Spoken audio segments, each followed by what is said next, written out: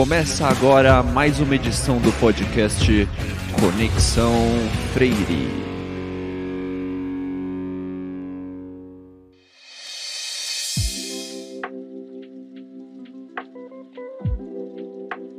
Bom dia, pessoal e ouvintes.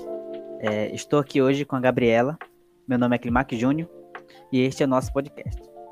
Esta é a mais nova forma de comunicação da equipe gestora da Escola Municipal Paulo Freire, do interior de São Paulo. O podcast terá uma edição a cada 15 dias. Aqui vamos aproveitar para divulgar últimas notícias sobre a escola, novos projetos, campanhas e vamos aproveitar para tirar dúvidas da comunidade também.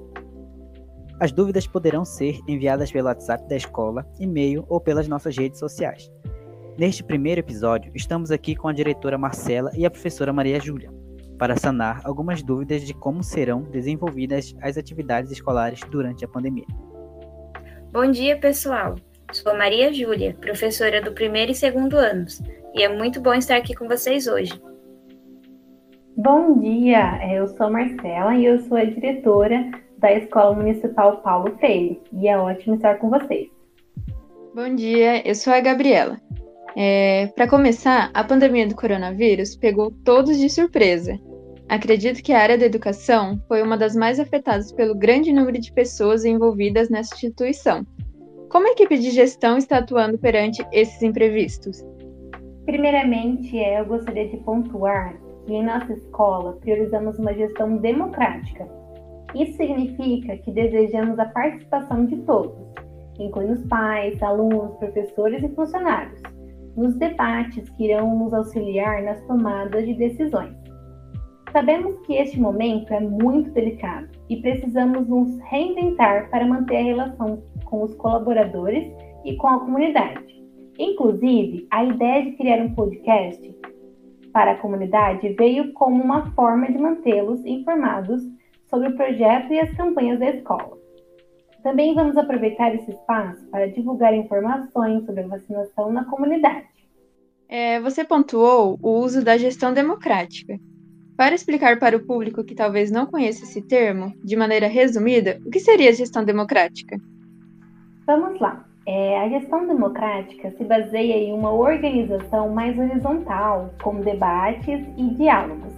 A participação de todos os envolvidos é de extrema importância pois é por meio da participação da comunidade, dos estudantes e dos funcionários que nós conseguimos entender os fatores sociais, culturais, externos e internos que influenciam a vivência escolar.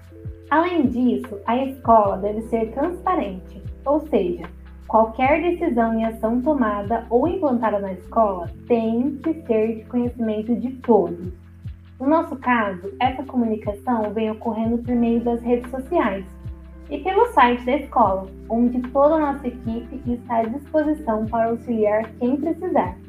Sim, sim, e a gente percebe por meio da sua fala que a base de tudo está na comunicação. Sim, é importante destacar que a comunicação está presente no momento de se expressar. Mas para o sistema fluir, é necessário saber ouvir, a partilha é fundamental para a gestão entender o contexto de cada aluno e conseguir planejar e orientar os próximos passos. Tem uma frase que eu gosto muito que diz: a gente só é na relação com o outro. Então, além de saber ouvir e se posicionar, é necessário estar sempre sendo empático com os colegas e buscando a boa e agradável convivência. Sim, e outro ponto é que as mudanças no ambiente escolar são evidentes. O cotidiano da escola já está em transformação. O que isso significa para um futuro retorno das aulas presenciais? Obviamente, as situações mudaram muito devido à pandemia e todos os cuidados que devem ser tomados para se evitar o contágio. Com isso, tivemos que nos reinventar a forma de se portar, até se vestir de ocupar o espaço. A futuro escolar também vai ter que se adaptar a essa nova realidade. Sim, sim. Eu acho importante a gente conversar sobre isso, pois a cultura escolar já, já está em constante mutação, mesmo sem a pandemia.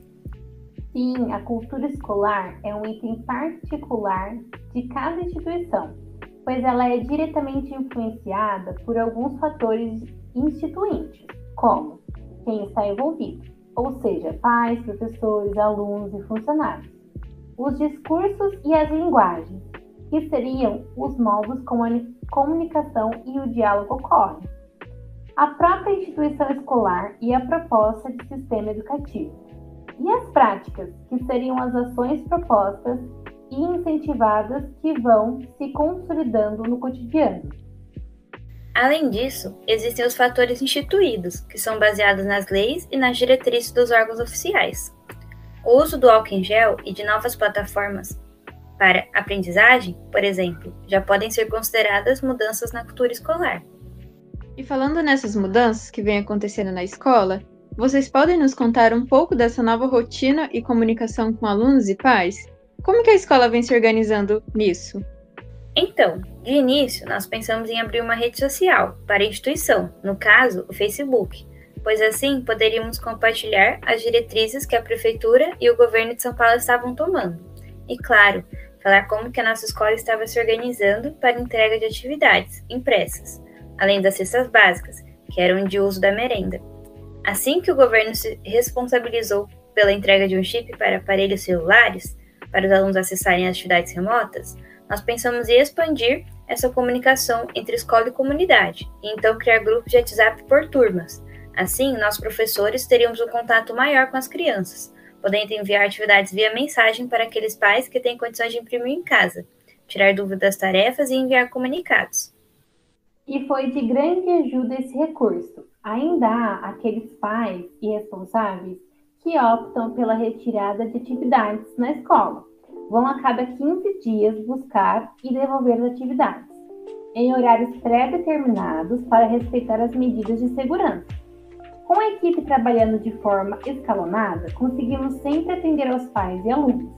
Foi muito bom ver que, dentro da secretaria, dois funcionários ficaram exclusivos para atender as demandas do Facebook, postando comunicados e respondendo às famílias além de sempre enviar questionários para manter a escola informada sobre a situação da família, como perda de familiares e grau de parentesco dos alunos, perguntas sobre alimentação e trabalho.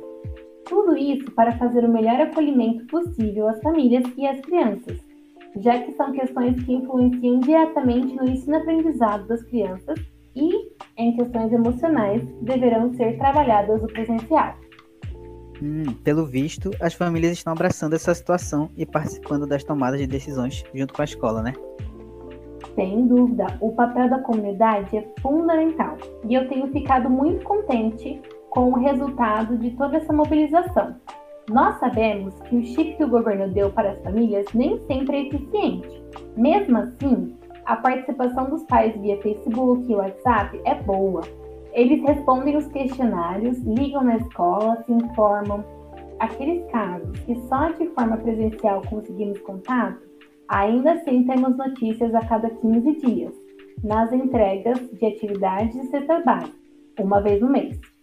No pacote das atividades, já enviamos questionários quando tem e a ficha com as sugestões, queixas, comentários, em geral, para que a gente consiga proporcionar um bom atendimento à família.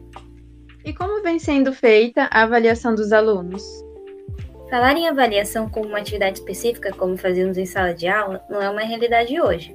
O que temos feito junto com a gestão é analisar o desenvolvimento que a criança vem mostrando nas atividades, analisar as dificuldades dos avanços, se há ou não direcionamento dos pais, e depois estabelecer um máximo e um mínimo, como nota para lançarmos um sistema. Ou seja, ao final do trimestre, estipulamos uma nota mínima para aqueles que entregaram algumas atividades e o máximo para aqueles que entregaram todas as atividades. Evitamos ao máximo que haja alguma reprovação, mas claro, aqueles que não entregaram nada, a gente busca conversar com a família, entender o que está acontecendo, elaborar alternativas, tudo baseado na comunicação, antes de bater o martelo. Que ótimo! Muito bom ver que a comunicação com a família é sempre alternativa para decisões que a escola toma. Mas me conta, como está funcionando a relação entre gestão e professor? Mesmo com o grupo do WhatsApp da gestão e professores, que sempre está ativo com tudo o que vem acontecendo no dia a dia, temos as reuniões pedagógicas semanais com os professores e coordenadoras pedagógicas, atualizando nosso planejamento, alinhando com os especialistas, compartilhando o que os pais vêm conversando com a gestão, sobre o que andou movimentando o Facebook e as devolutivas dos questionários enviados às famílias assim como está sendo a comunicação e auxílio pelo WhatsApp da sala e devoluções das atividades. Claro que nessas reuniões também compartilhamos nossas aflições e sentimentos. É um momento muito delicado e de muito trabalho. A carga emocional é gigante. E acho muito importante frisar que a gestão e professores respeitam os respectivos horários de trabalho, mesmo sendo uma tarefa difícil, estando em teletrabalho. Sem dúvida, sem dúvida. Essa pandemia nos trouxe uma carga emocional e de pressão muito grande. Ministrar nosso tempo para trabalho e para o pessoal nunca foi tão difícil como agora. Parece que estabelecer limites para nossa própria rotina virou uma guerra. Exato, e agora estamos caminhando para o final da nossa conversa de hoje, mas gostaria de agradecer por compartilhar conosco um pouco de como vem sendo a rotina da Escola Municipal Paulo Freire. Sem dúvida, a gestão em consonância com a comunidade e os profissionais que constituem a escola faz a diferença. Não é uma realidade para todas as escolas. O alinhamento que vocês vêm fazendo por meio das redes sociais, diálogos e acolhimento com a família terá um impacto muito grande lá na frente, podem ter certeza. Nós agradecemos pelo espaço aberto para a partilha do nosso trabalho. Muito obrigada e até a próxima. Tchau, pessoal, e até a próxima roda de conversa.